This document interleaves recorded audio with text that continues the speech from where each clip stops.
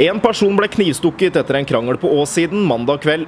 Det var rundt halv åtte-tiden at politiet fikk melding om knivstikkingen, og kort tid etter ble en mann i 20-årene av utenlandsk opprinnelse pågrepet av politiet. Offeret, en mann i 30-årene, skal ifølge politiet ikke være alvorlig skadd. Han skal imidlertid ha blødd kraftig da flere bevæpnede polititjenestemenn ankom stedet. Politiet ønsker nå å komme i kontakt med vitner til hendelsen, og ber folk henvende seg på telefon 02800.